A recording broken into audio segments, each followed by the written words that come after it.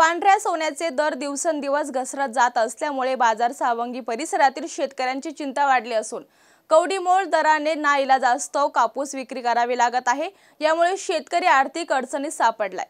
मागील वर्षाप्रमाणे याही वर्षी कापसास जास्तीचे दर मिळतील या अपेक्षेने बाजार सावंगी परिसरातील शेतकऱ्यांनी कापसाची मोठ्या प्रमाणात लागवड केली. संततधार पावसामुळे शेतकऱ्यांच्या पिकांचे नुकसान झाले. मात्र मोठ्या कष्टाने पिकवलेला आणि वेचणी केलेला कापूस शेतकऱ्यांसाठी कर्दन काळ ठरतोय.